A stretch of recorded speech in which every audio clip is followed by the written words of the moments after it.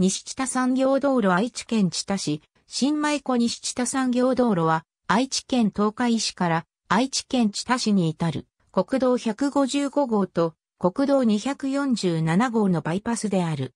自動車専用道路区間と一般道路区間からなる。北畑交差点から常滑市までを含める場合もある。自動車専用道路区間の制限速度は時速 70km である。案内標識は自動車専用道路用によくある緑色でなく、一般道路用の青色が採用されている。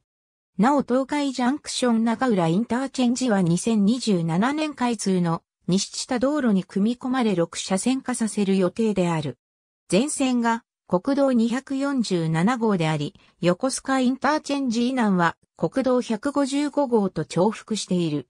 この他に自動車専用道路で青色の案内標識が使われている例としては、東北横断自動車道に並行する合算道路などがある。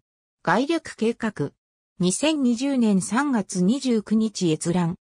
愛知県広報第2854号公安委員会規則第2号愛知県広報第2857号示せ国時第127号 ABCDEF 下都市計画道路1.365西下道路、環境影響評価書。